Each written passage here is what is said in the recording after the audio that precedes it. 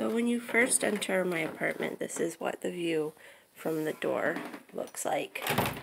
Um, basically to the left, we have my new table set up with my dollhouse I'm working on, the vanity, the litter box in the corner, the bat wall, and then that door behind the vanity is um, the large door to the walk-in closet, and behind this door is where the door in bed, the Murphy bed kind of situation, bed in door, whatever.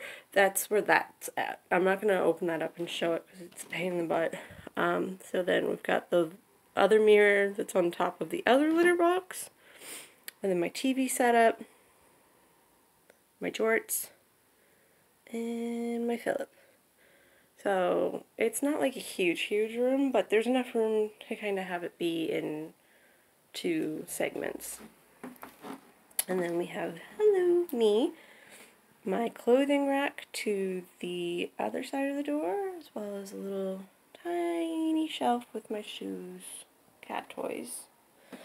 Um, the new couch, which that moon shelf is like basically centered on that wall, so everything else kind of is spaced around that. So the couch is centered. Um, I intentionally didn't hang these uh, posters that I did I drew at the same height, but they're like not quite at the like off center enough, so they kind of drive me crazy. Um, George is on top of the table that I moved yesterday. Son in his buns, he's pretty happy about that. He's watching Jade the Libra on TV. Um, and then we go into the little hall. So this is a closet that is very messy and has um, my clothes that don't hang in there. So it's basically like a linen closet. And then this is the other entrance to the walk-in closet, which I also am not going to um, go into. And then we have the bathroom across the hall from the linen closet. Pretty basic. I've got a black shower curtain, black rug, sink, little mirror and then like a little medicine cabinet kind of situation here, which is, you know, kind of basic. Um, that's one of my paintings I did a few years ago in the hall. And then through the sequined curtains, we are now into my bedroom. Um, so it's very small. It's basically large enough for just my bed, a small end table, George's bed, a little bit of art, and then we turn around, and it's my new wax melt, wax warmer.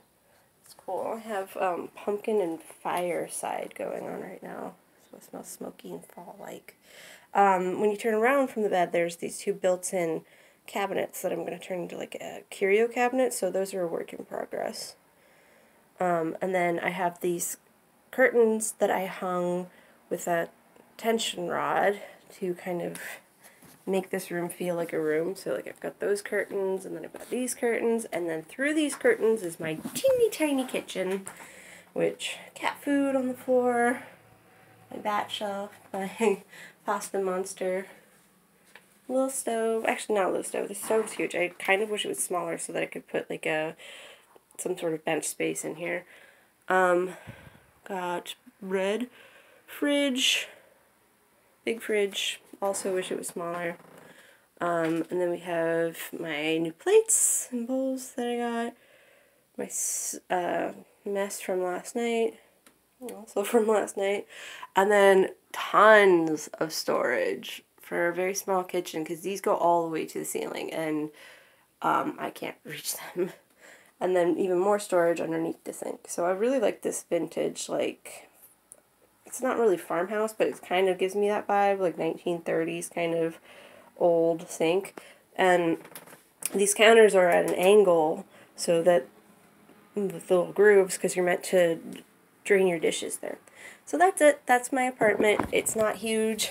It's, I mean, maybe for like Paris standards, but you know, that's it. Say goodbye. No, they're sleeping.